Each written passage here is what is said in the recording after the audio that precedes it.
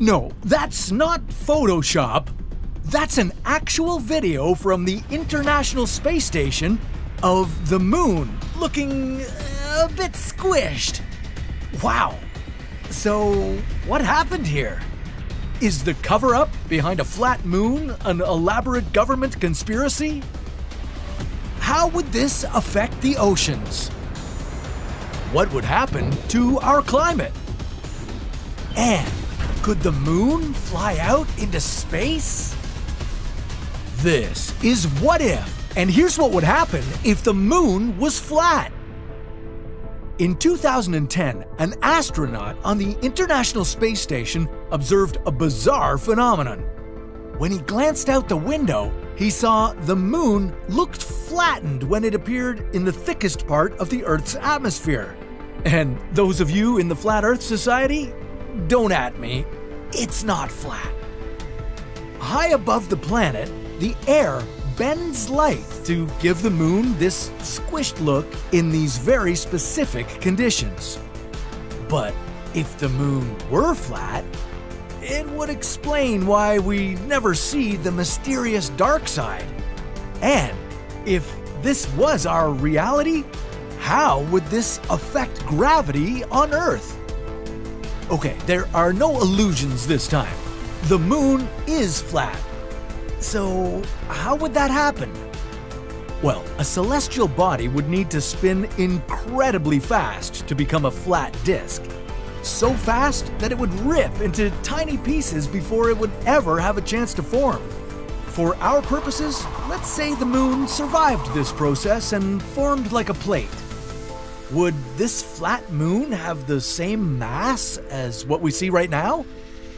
Well, as a flat disk, the moon could have 25% of the thickness, but the width might remain the same. With so much less mass floating above the Earth, the change in ocean tides could be the first noticeable effect. The moon's gravitational pull generates these tides. Our moon pulls the water on the side of the Earth that's closest to it, but this flat moon would have less mass and less gravitational effect on our planet. And the altered tides would affect more than just surfers. Ocean tides stir up material below the water's surface, allowing coastal ecosystems to thrive. Without the usual strong waves, animal life in the oceans, like crabs, mussels, and snails, could die off in mass numbers. This chain reaction could decimate life worldwide. And that's not all a flat moon would ruin. Remember, the tides also push water back and forth around the planet. When warm waters travel from one area to another, these tidal forces change weather patterns globally. Without the strong tides, we could experience extreme temperature changes. But even with all these devastating changes, the climate still wouldn't change as fast as the days. The moon's mass influences our planet's rotation, giving us a 24 hour day. But with a flat moon, the day could be only 15 hours long. But I think most of us could live with a five hour workday. And while we'd get more sunlight, the nights would be even darker. You see, the moon reflects the sunlight to give off that bright glow we all know and love. A smaller moon would reflect less light, making it much dimmer. That would make it harder for nocturnal animals that rely on the moon for navigation and hunting. But maybe none of that would matter since it could potentially crash right into us. Wait, what? Yeah, the Earth and the Moon are locked together in an eternal dance. The motion created by one affects the other.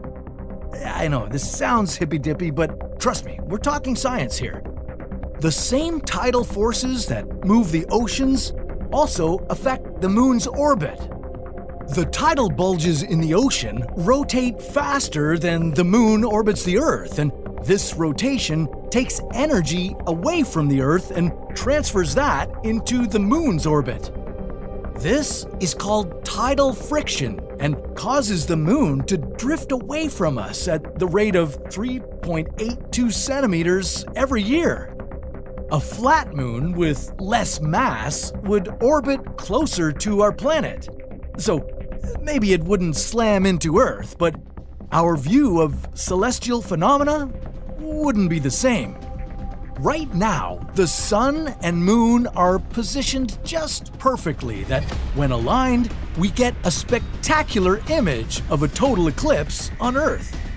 The moon covers the sun entirely in this breathtaking event. A squished moon wouldn't be able to block out the sun entirely during an eclipse, and we would see the top and bottom of the sun peeking out. A flat moon could destroy the balance of life on Earth and threatens every ecosystem and living organism, including humans.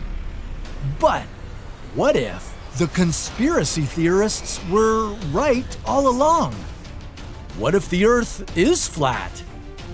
Well, get ready to scale the ice wall because that's a story for another What If.